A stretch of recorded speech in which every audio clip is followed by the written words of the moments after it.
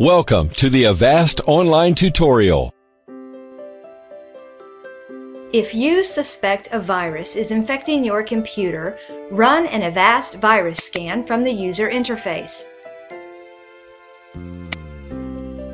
If Avast detects a suspicious file, it will be moved to the virus chest.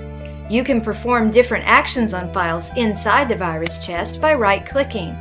For example, you can restore a file, exclude it from scanning, report it to the virus lab, or delete it. Once you decide, confirm your choice. When you're all done, close the virus chest to exit.